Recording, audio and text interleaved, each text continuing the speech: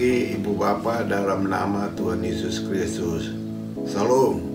Puji Tuhan bahwa kita bisa berbakti pagi ini dengan pertolongan dan bimbingan Tuhan. Sebelum kita mulai kebaktian, hari ini yang dipimpin oleh Ibu Sarah, Mari kita masuk di dalam doa, mohon pertolongan dan bimbingan Tuhan dalam kebaktian hari ini. Mari kita berdoa.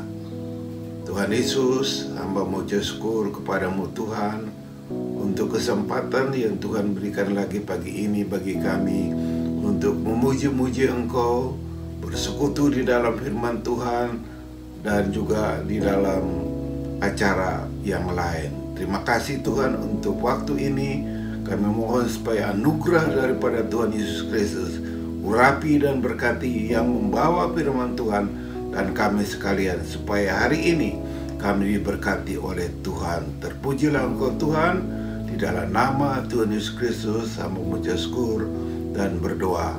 Amin. Bapak Ibu, mari kita sekalian memuji Tuhan pagi hari ini. Amin.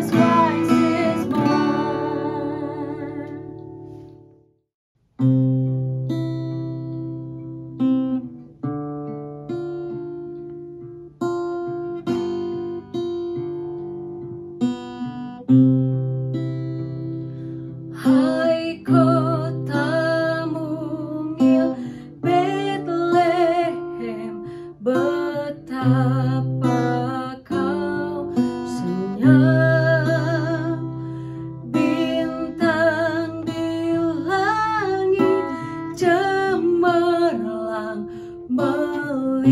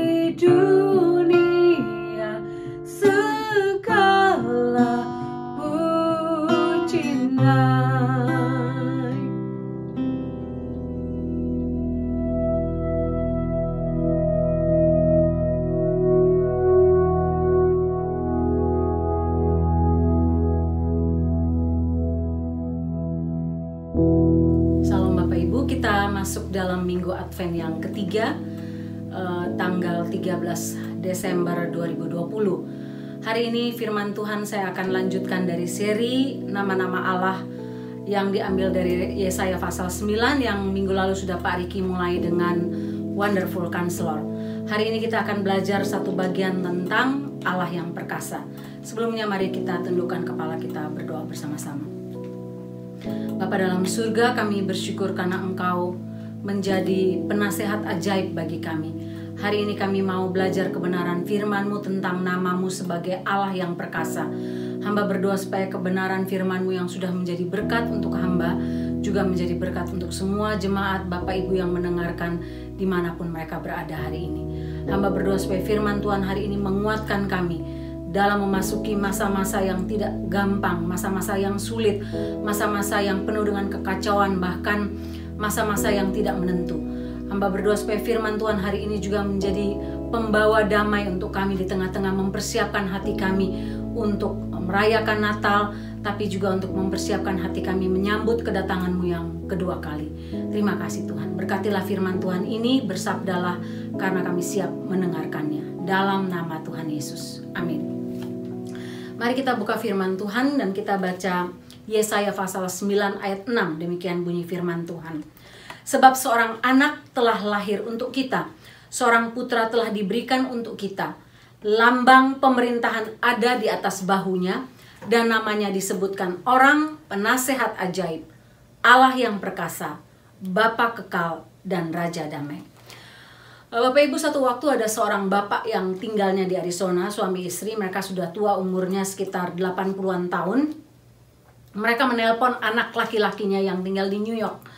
Mereka katakan bapaknya bilang, nak, eh, ibumu sakit keras. Saya nggak tahu apa bisa bertahan atau tidak, tapi yang pasti dia sakit keras.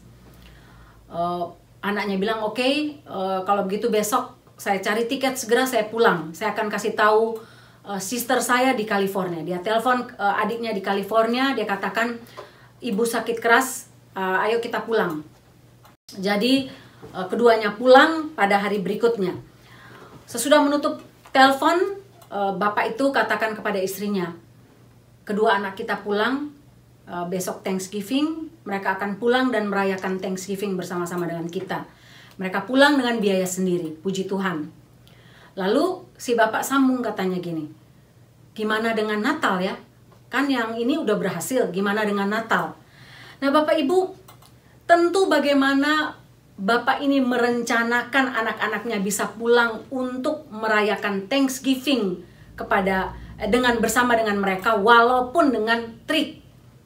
Ibunya tidak sungguh-sungguh sakit. Nah dia mulai bingung bagaimana dengan Natal nanti trik apa yang harus dia buat lagi untuk membujuk mereka pulang merayakan Natal bersama-sama dengan mereka. Apa kemudian buat Natal? Ini pertanyaan yang bagus sekali Bapak Ibu. Sesudah kita merayakan Thanksgiving bulan lalu, apa yang kita akan lakukan atau siapkan untuk Natal? Natal berada di penghujung tahun di mana begitu banyak hal telah terjadi. Secara khusus tahun 2020 bukan tahun yang gampang Bapak Ibu. Tahun 2020 merupakan tahun yang di mana semua orang katakan kalau bisa dihapus saja dari dalam kalender. Tahun ini dimulai dengan COVID, dengan karantina, dengan kehancuran ekonomi, dengan kehilangan pekerjaan, kesulitan finance, dengan ketakutan, dengan depresi, dengan uh, hilangnya atau rusaknya hubungan antar sesama menjadi hancur, menjadi kacau balau karena politik dan berbagai hal lain. Natal tahun 2020 tidak sama dengan Natal lain. Dan Natal tahun ini merupakan Natal yang boleh dikatakan Natal yang penuh dengan ketidakpastian. Kita tidak tahu apa yang akan terjadi satu hari kemudian, dua hari kemudian, satu minggu, bahkan satu bulan kemudian. Sehingga tahun ini kita mempersiapkan Natal kita. Bagaimana kita bisa mempersiapkan Natal yang penuh arti dan bermakna. Yang menarik Bapak Ibu. Yesaya pasal 9 ayat 6 tentang empat nama Allah, empat nama Yesus Kristus, empat nama juru selamat yang dipers, yang dinubuatkan oleh Yesaya 700 tahun sebelum kedatangan Kristus memberikan pengharapan baru. Firman Tuhan ini masih relevan walaupun ditulis ribuan tahun yang lalu oleh Yesaya. Firman Tuhan ini tidak hanya untuk orang Israel yang menantikan Mesias, tidak hanya untuk orang percaya yang menantikan Mesias, tapi firman Tuhan ini masih berlaku untuk kita pada masa sekarang ketika kita mempersiapkan memperingati Natal tapi juga mempersiapkan kedatangannya yang kedua kali. Dunia sedang dalam kacau keadaan kacau balau. Ketika Yesaya menulis bagian ini 700 tahun sebelum Mesias lahir, sebelum Yesus Kristus lahir atau 400 ada 400 tahun masa di mana terjadi kegelapan, terjadi masa silent di mana tidak ada suara Tuhan, tidak ada firman Tuhan, tidak ada penampakan malaikat, tidak ada munculnya nabi-nabi sehingga 400 masa silent dari masa 400 sebelum Masehi sampai Tuhan Yesus lahir merupakan masa yang gelap. Tapi firman Tuhan dalam Yesaya 9 ini memberikan pengharapan baru bagi orang-orang pada masa lalu termasuk kita pada masa sekarang. Yesaya pasal 9 ayat 2 katakan, Bangsa yang berjalan dalam kegelapan telah melihat terang yang besar. Mereka yang diam dalam negeri kekelaman, atasnya terang telah bersinar. Bapak Ibu, bangsa Israel, bahkan bangsa-bangsa dunia pada masa itu hidup dalam kegelapan. Mereka tidak tahu ke mana mereka harus melangkah dan hal ini sudah dinubuatkan jauh sebelum hal itu terjadi. Mereka akan berjalan dalam kegelapan, tapi mereka yang berjalan dalam kegelapan akan melihat terang yang besar. Mereka yang diam dalam negeri kekelaman atasnya terang telah bersinar. Sehingga Yesaya 9 ayat 2, Yesaya 9 ayat 6 membawa pengharapan baru lagi bagi kita. Bayangkan Bapak Ibu, ketika semua keadaan dunia menjadi kacau, tiba-tiba kita mendengar kabar yang bahagia. Kabar itu membawa pengharapan baru bagi kita. Saya nggak tahu dengan Bapak Ibu, tapi pernahkah Bapak Ibu berada dalam keadaan di mana sudah jatuh ketimpa tangga? sudah masalah kesehatan, masalah finansial, masalah depresi, masalah anak-anak, uh, masalah pekerjaan, semuanya datang bersamaan.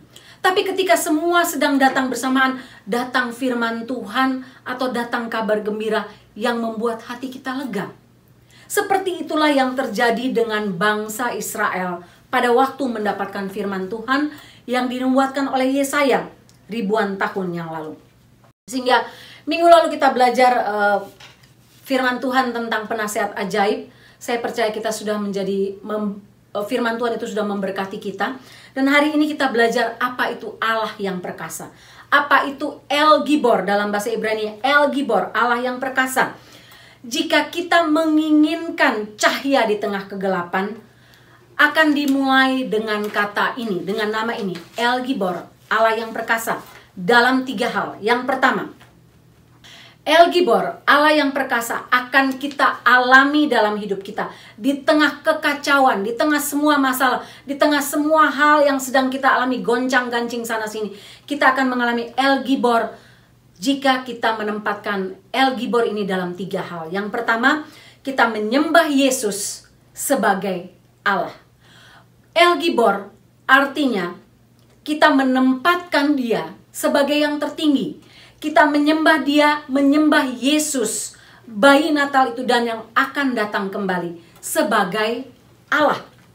Sembahlah Yesus sebagai Tuhan Anda, sembahlah, Yesus sebagai Allah. Yesus adalah Allah di dalam daging. Dialah Allah itu sendiri, dialah Yahweh itu sendiri. Hal ini dituliskan dalam Yesaya pasal 10.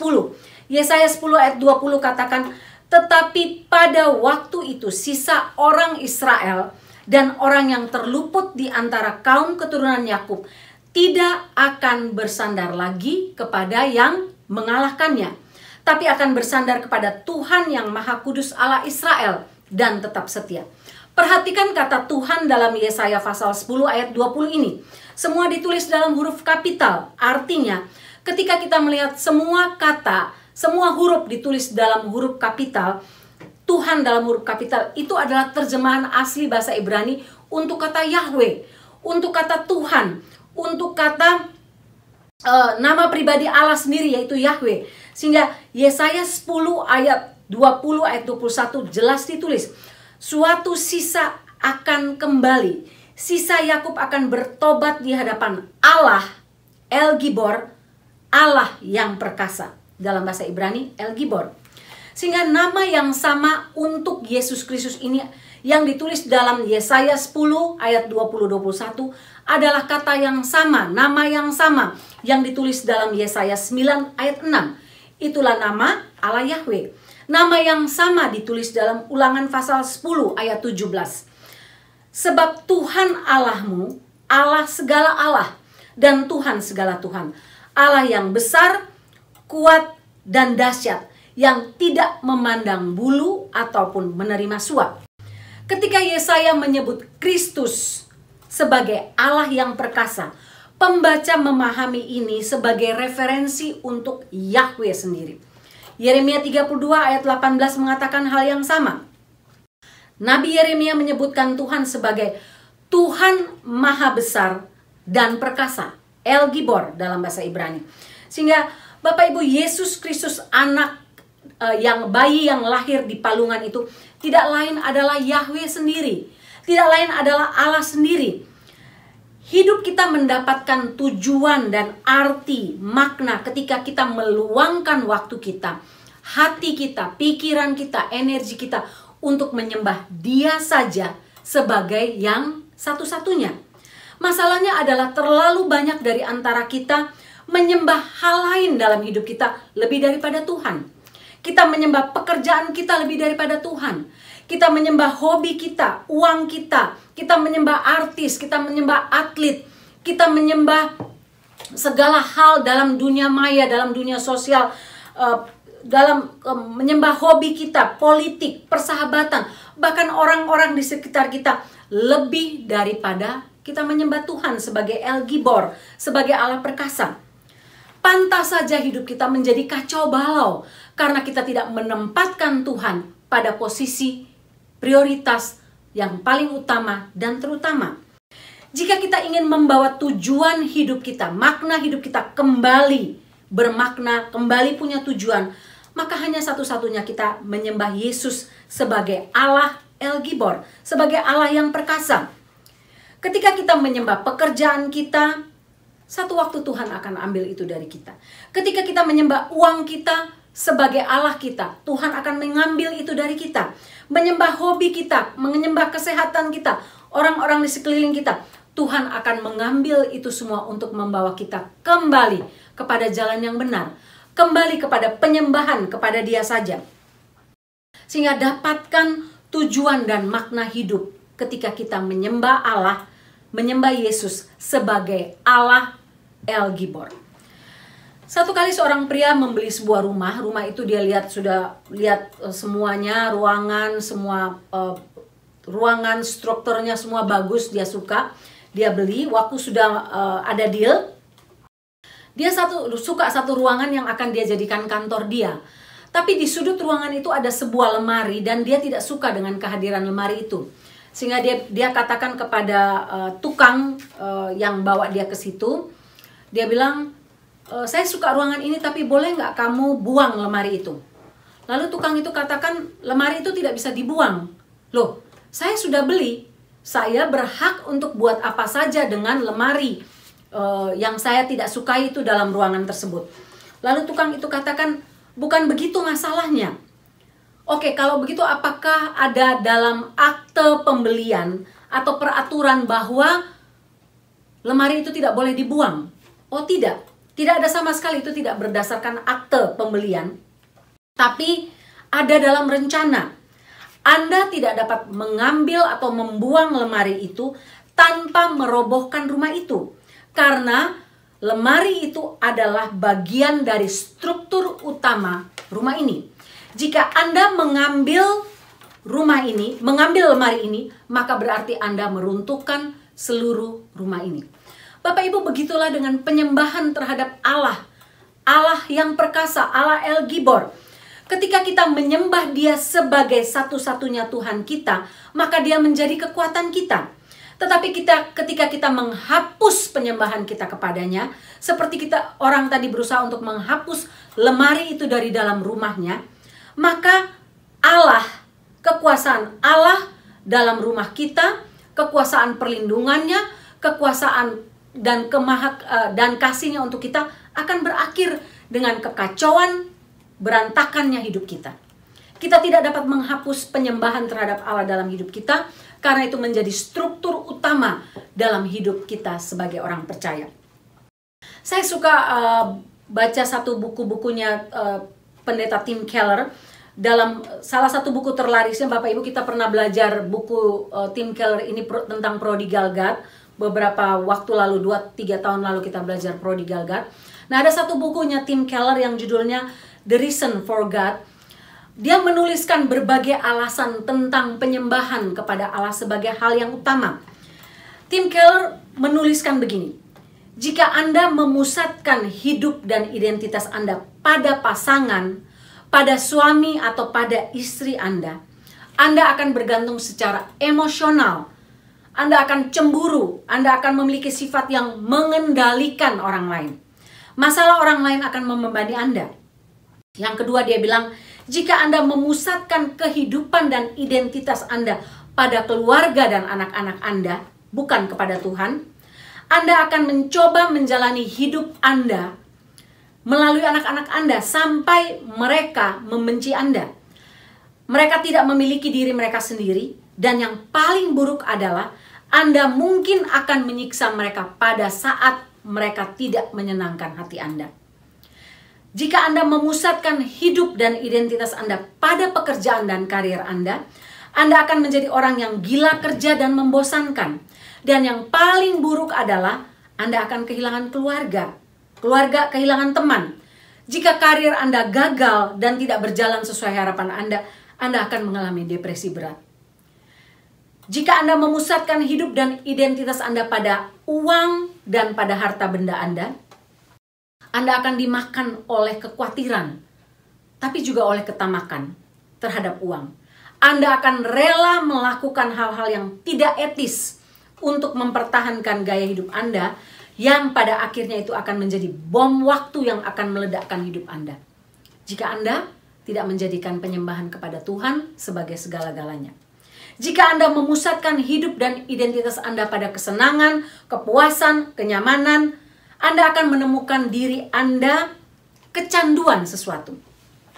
Anda akan terikat pada strategi untuk melarikan diri sebagai alat untuk menghindari kekerasan hidup. Jika Anda memusatkan hidup Anda dan identitas Anda pada hubungan, pada relasi dan persetujuan, persetujuan orang lain, Anda akan takut menghadapi orang lain dan tidak mau menerima kritik. Kritik akan menyebabkan Anda sakit dan membuat Anda menjadi teman yang tidak berguna. Jika Anda memusatkan hidup dan identitas Anda pada tujuan yang mulia, Anda akan membagi dua membagi dunia atas dua hal, baik dan buruk, dan menjelekkan lawan Anda. Ironisnya, Anda akan dikendalikan oleh musuh Anda. Tapi mereka Anda tanpa mereka Anda tidak akan memiliki tujuan. Dan jika Anda memusatkan hidup Anda pada identitas Anda pada agama dan moralitas, Anda akan jika Anda memenuhi standar moralitas Anda akan menjadi sombong, menjadi merasa benar, merasa men- eh, menjadi pribadi yang kejam. Jika Anda tidak memili- mem- memenuhi standar moral Anda, Anda akan merasa bersalah dan itu akan menghancurkan hidup Anda. Jangan pernah memusatkan hidup kita, hati kita kepada sesuatu atau siapa pun selain Yesus Kristus. Karena hanya dialah sendiri, Yesus Kristus, bayi Natal itu, Allah El Gibor itu, yang akan membawa makna dan tujuan hidup dalam hidup kita. Memusatkan penyembahan kita kepada hal lain hanya akan membawa kehancuran, kekacau balauan dalam hidup kita. Sehingga kalau saat ini Bapak Ibu sedang dalam keadaan kacau balau hidup Bapak Ibu, coba kembali introspeksi diri kita. Apakah kita sedang dalam keadaan menyembah Allah ataukah kita sedang menyembah hal-hal lain di luar Allah lebih daripada Allah itu sendiri? Yang kedua, jika kita ingin hidup kita ini punya makna, punya tujuan, Natal kita punya tujuan, kita mendapatkan arti di tengah-tengah semua kekacauan yang ada, maka hal kedua yang kita perlu perhatikan tentang nama ini Allah El Gibor, Allah perkasa adalah jadikanlah Yesus sebagai pembela Anda. Pernahkah Bapak Ibu berhadapan dengan pengadilan? Pernahkah Bapak Ibu ke court di mana Bapak Ibu menjadi orang yang tertuduh dan Bapak Ibu membutuhkan seorang pembela? Saya tidak pernah ke court karena diri saya, tapi saya pernah ke court karena anak saya. Tapi Allah perkasa, kata El Gibor ini, merupakan nama yang berarti yang menolong saya, menolong keluarga saya, melewati masa-masa sulit itu. Allah Yesus yang saya sembah itu menjadi Allah pembela bagi saya. Yesaya 54 ayat 17 itu merupakan ayat yang benar-benar kami pegang selama masa-masa sulit itu. Dan Allah membuktikan dirinya sebagai Allah El Gibor ketika kami mengalami masa sulit. Allah perkasa ini mengandung unsur pembela. Artinya, percayakan diri Anda, percayakan diri kita kepada Yesus sebagai pelindung dan pembela Anda. Yesus menjadi satu-satunya tempat kita bergantung, satu-satunya kita memperoleh rasa aman. Bapak Ibu yang pernah mengalami apa artinya menjadi victim atau apa artinya ke court, tidak punya mungkin tidak punya lawyer atau tidak mampu untuk membayar lawyer. Bapak Ibu, dia adalah Allah El Gibor. Dia adalah Allah yang perkasa. Dia menjadi pembela kita. Kata perkasa dalam perjanjian lama ini dipakai umumnya untuk menggambarkan para pahlawan dan para pemenang dalam perjanjian lama. Kata ini menggambarkan prajurit yang hebat dan dalam pertempuran yang menempuh pertempuran dengan gagah berani. Uh, saya kasih contoh beberapa hal khususnya dalam satu Tawarik pasal 11 ketika nama-nama orang yang perkasa yang berperang bersama Raja Daud dituliskan secara khusus dalam satu Tawarik pasal 11. Nama mereka itu adalah Yasob, Yasobam. Yasobam itu orang yang mengangkat tombak dan melawan musuhnya, membunuh 300 orang sekaligus. Ada Eliezer, dia berdiri tegak ketika semua orang melarikan diri dari tentara Filistin. Ada uh, Eliezer dan Daud di tengah-tengah ladang gandum melawan seluruh orang Filistin. Juga ada tiga orang perkasa yang menerobos masuk ke perkemahan orang Filistin untuk mengambil air sumur untuk diberikan kepada Raja Daud karena Raja Daud kepingin minum air dari sumur itu. Mereka adalah disebut orang-orang perkasa. Giborim artinya uh, para pahlawan yang merupakan pemenang perang. Hal yang sama juga terjadi ketika Daud berperang melawan Goliat dan berhasil mengalahkan Goliat. Daud disebut pahlawan perang yang gagah perkasa atau Giborim. Sehingga dalam Yesaya 9 ayat 6 ketika Yesaya menulis nama bayi yang akan lahir itu sebagai Allah perkasa, El Gibor itu artinya dia pejuang, dia pemenang perang, dia pahlawan yang gagah perkasa. Dia prajurit yang hebat, seorang yang berani menempuh apa saja dan menjadi pembela untuk kita. Yesaya 42 ayat 13 katakan, Tuhan keluar berperang seperti pahlawan, seperti orang perang ia membangkitkan semangatnya untuk bertempur. Tuhan kita Yesus Kristus adalah Allah El Gibor. Dia seorang pejuang yang hebat, yang gagah perkasa. Dia menjadi pembela jika kita bersamanya dan dia akan melindungi kita dari musuh spiritual kita. Ketika Yeremia dipukul oleh uh, sang nabi Yeremia dipukul dan dimasukkan ke dalam sumur oleh Pasyur imam kepala itu, dia pikir dia bisa membungkamkan Yeremia ketika Yeremia dipukul dan dimasukkan ke dalam sumur. Tapi Yeremia tidak terintimidasi sedikit pun.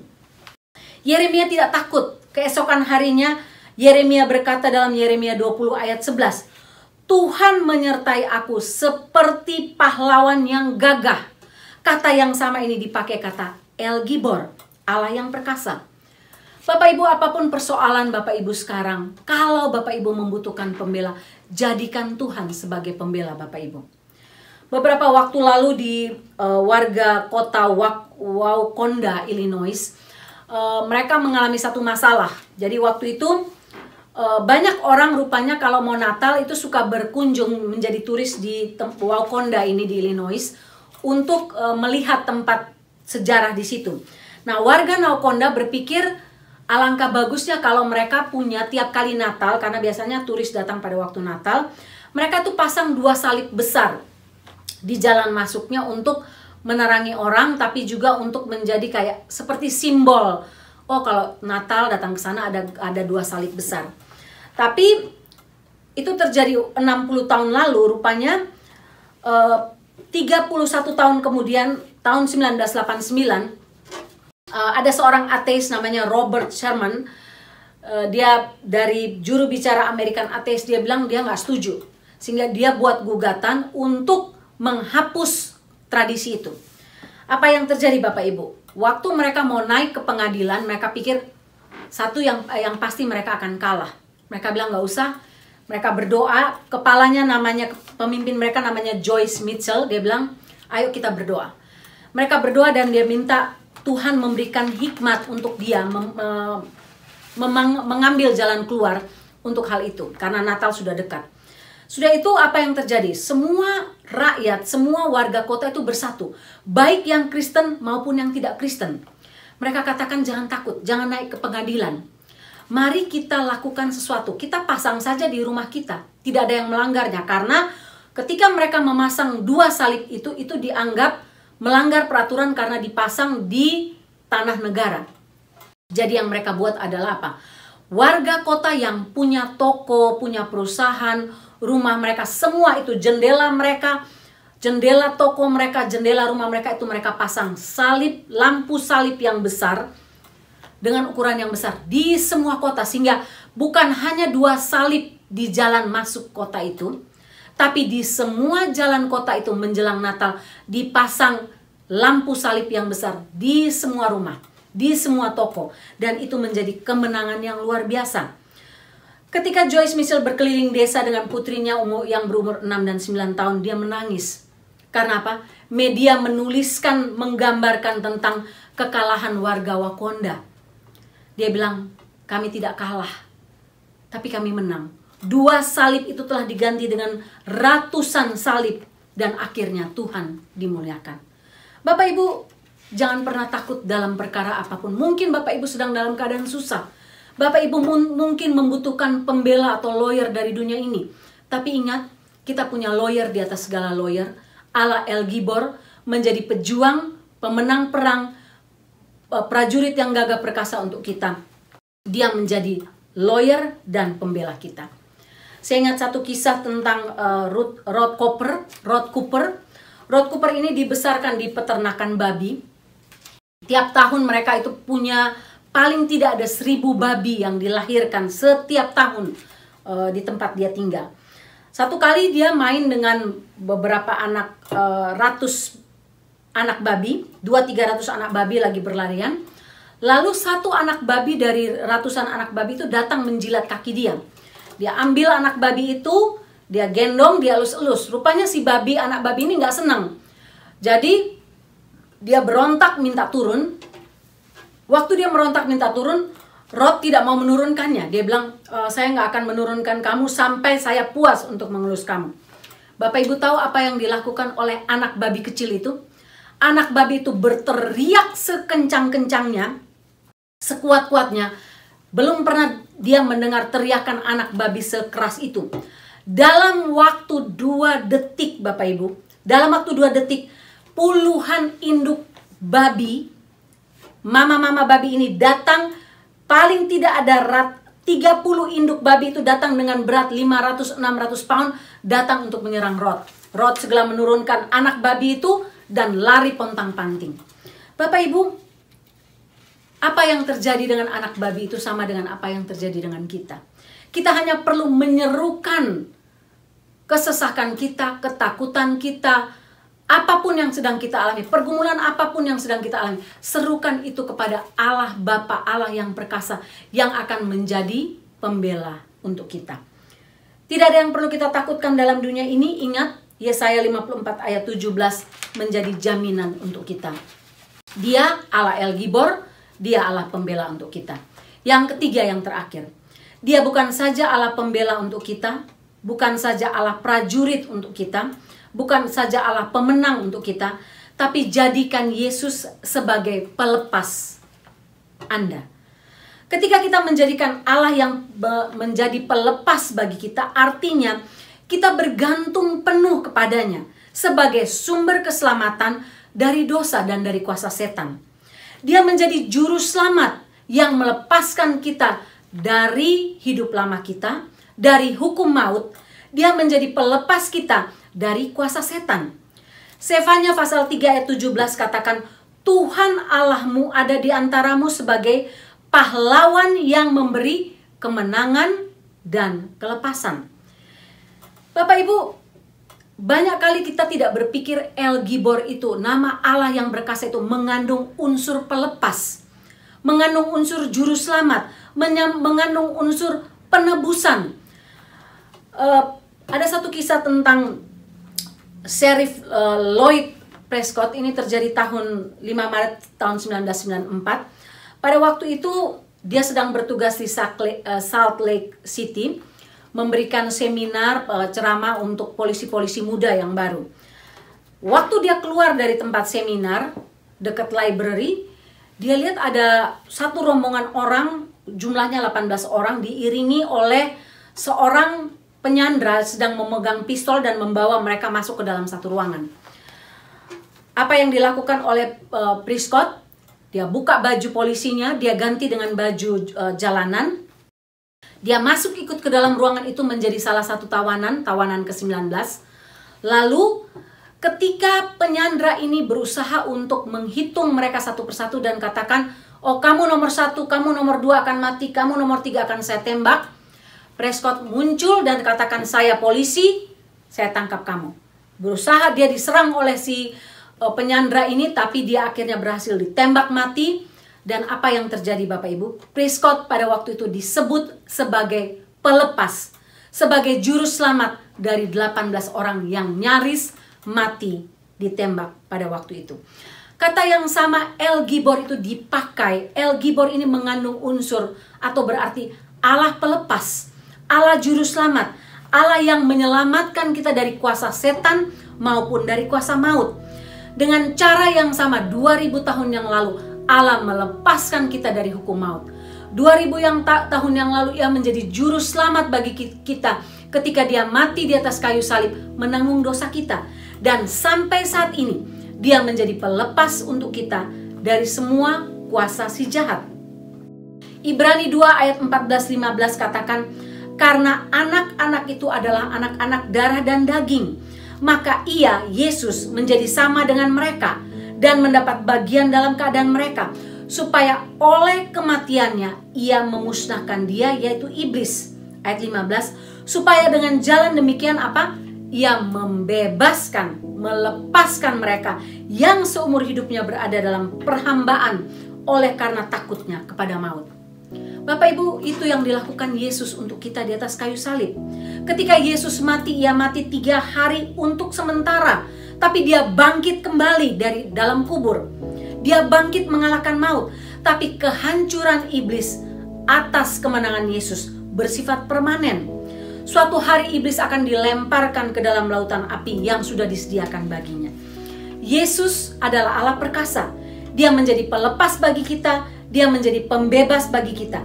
Karena itu kita hanya perlu satu hal untuk mempercayakan hidup kita kepadanya sehingga kita lepas dari kuasa setan. Tahun 2003-2004 saya dan Pak Riki masih melayani Sidoarjo. eh, kami diberi kesempatan untuk melayani sekumpulan anak-anak eh, pelajar SMP SMA yang eh, dikirim dari berbagai daerah Indonesia Timur di Sidoarjo. Eh, mereka tinggal dalam satu rumah dan ketika anak-anak ini datang rupanya mereka dibekali dengan jimat-jimat eh, dari orang tua mereka masing-masing. Jimat untuk pelindung dan sebagainya.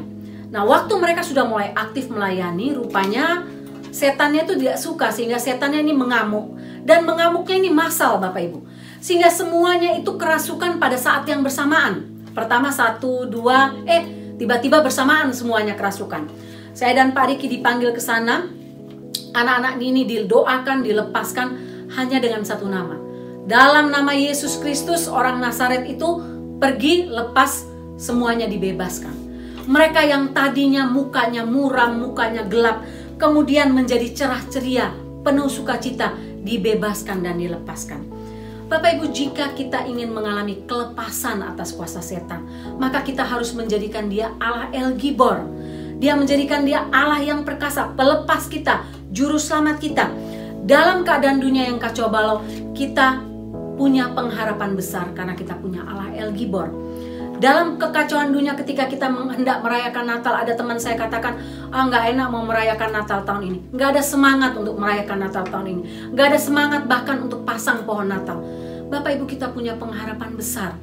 Pengharapan itu tidak pernah berubah karena Allah El Gibor itu tidak pernah berubah apa pun situasi yang sedang Bapak Ibu alami sekarang kekacauan apa pun yang sedang Bapak Ibu alami sekarang ingat dia penasehat ajaib tapi dia juga Allah yang perkasa.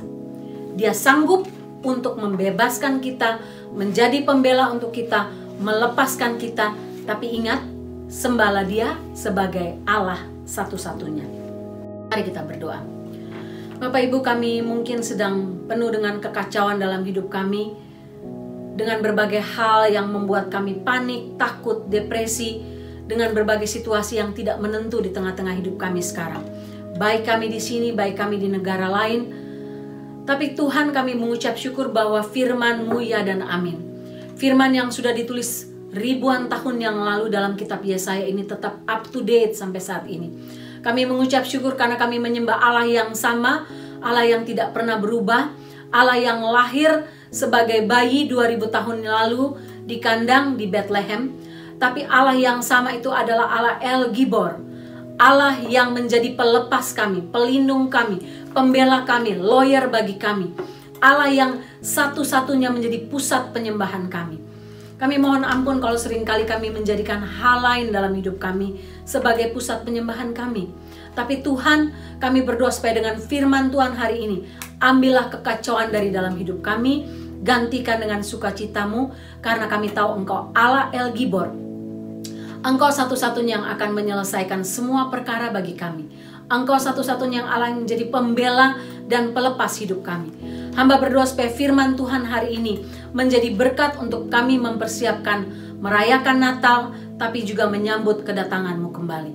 Hamba berdoa supaya firman Tuhan hari ini menjadi pengharapan baru lagi bagi kami untuk menyambut Natal, tapi juga mempersiapkan hati kami menyambut kedatanganmu kembali.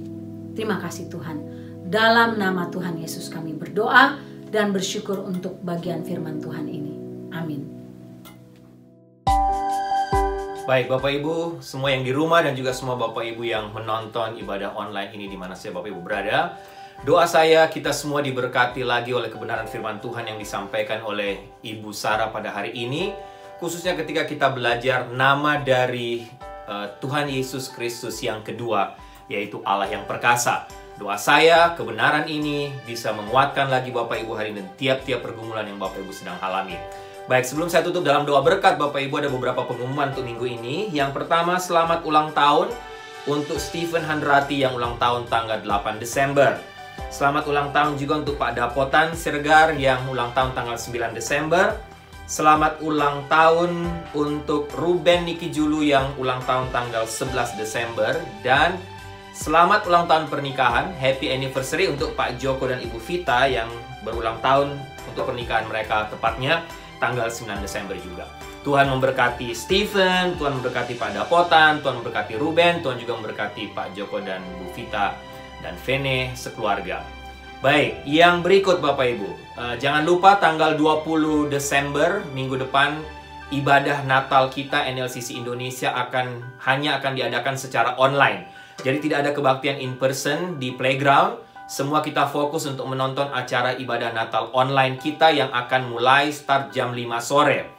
Jam 5 sore Bapak Ibu ingat jangan lupa Bapak Ibu jangan ke mana-mana Kita semua doakan supaya ibadah perayaan Natal kita tahun ini lagi Khususnya dalam rangka kita berdoa dan mendukung satu gereja di pedalaman Kalimantan Barat Ini juga bisa um, menjadi berkat buat kita semua Dan kita juga bisa melihat Tuhan bekerja Tuhan menyatakan mujizatnya Sehingga kita juga bisa merayakan Natal bersuka cita untuk berkat-berkat Tuhan di masa Natal ini Tapi juga kita bisa berbagi bagi sesama kita di Indonesia Khususnya uh, menolong mereka atau menolong gereja GEMI yang dari di pedalaman Kalimantan Barat. Mengenai persembahan, Bapak Ibu sudah bisa mulai berikan hari ini seperti yang saya sampaikan minggu lalu.